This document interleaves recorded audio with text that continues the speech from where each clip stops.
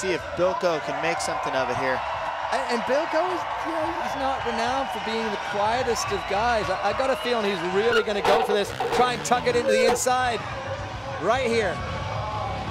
Oh, didn't go for it.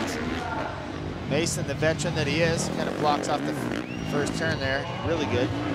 What we do know, though, is that Bilko has been getting the higher style scores because he's got the bigger tricks, but Bilko will want to pull a 360, and because of that, he needs to make sure he's got enough room next to Mike Mason when they get up to the ramp.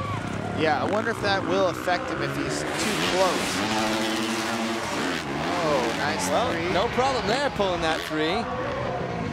And I'm going to say of these two, Blake Williams definitely has the bigger tricks. So if he has his bigger tricks, then he needs to stay as close as he can, even if he doesn't come across the line stay, first. Stay within that one second, and that differential could work for you.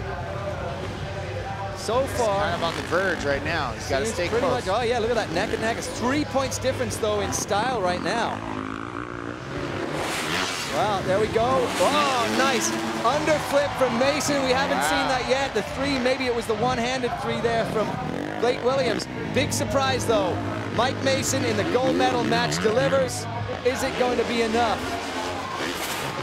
Mason crosses first. He will get the full 50 points. Again, short of that short the finish, finish line. So 2.5 second difference. It's official. Mike Mason takes his fourth gold in speed and style at X Games.